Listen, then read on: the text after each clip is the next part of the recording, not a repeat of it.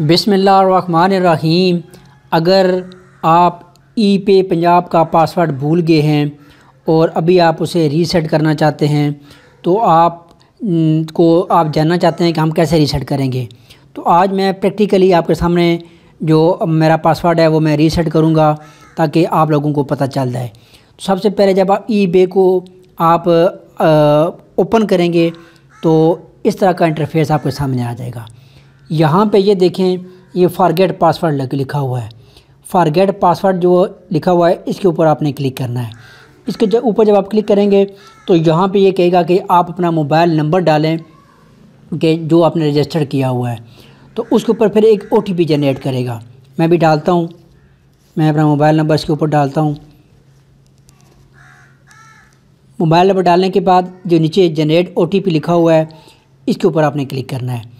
इसके ऊपर जब आप क्लिक करेंगे तो ऑटोमेटिकली जो वाया एसएमएस एक ओटीपी यानी कि वन टाइम पासवर्ड आपके मोबाइल के ऊपर भेज दिया गया है।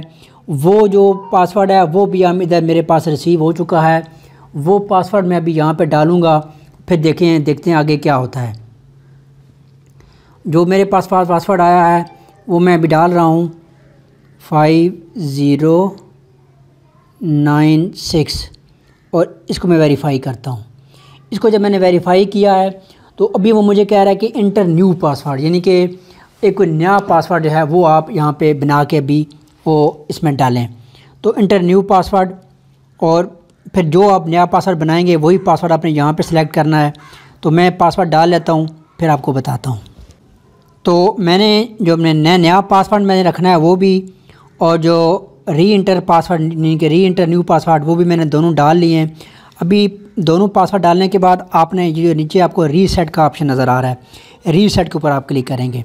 जैसे रीसेट के ऊपर आप क्लिक करेंगे, देखिए मेरा जो पासवर्ड है वो रीसेट हो चुका है।